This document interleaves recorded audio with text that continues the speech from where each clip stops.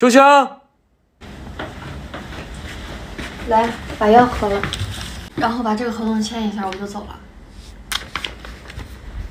秋香，你知道不知道，最近你天天往我家跑，邻居都以为你是我女朋友呢。真无聊，我是来给你汇报工作，让你签字呢。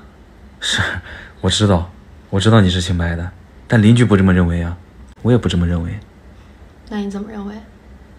我认为你最近是不是有点喜欢我了？最近你对我这么关心，这么照顾，住院之后呢，你又毛遂自荐要去我公司帮我处理工作，现在公司的人都把你当成我女朋友了，你知道他们怎么说吗？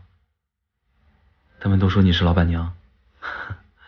当时我主动提出去你公司，是因为我最近刚好需要一份工作，但没想到你这么信任我，让我当你的助理，所以我只能承担起这份责任，帮你把公司打理好，照顾你只是顺手的事儿。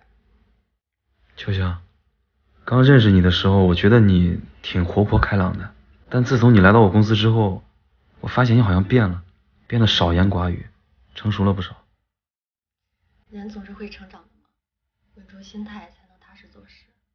哈 是是是，这次换了个人造膝盖，我觉得倒是挺开心的，因为我觉得咱俩的关系也更进一步了，一切都在往好的方向发展。秋香，有你真好。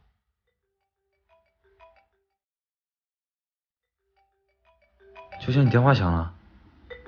秋香，秋香，啊？你电话响了。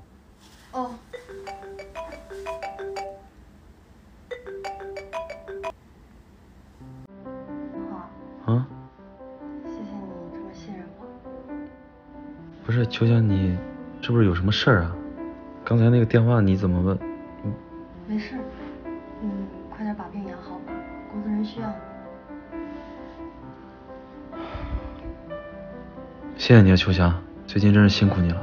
等我养好这个腿，我一定好好感谢你啊。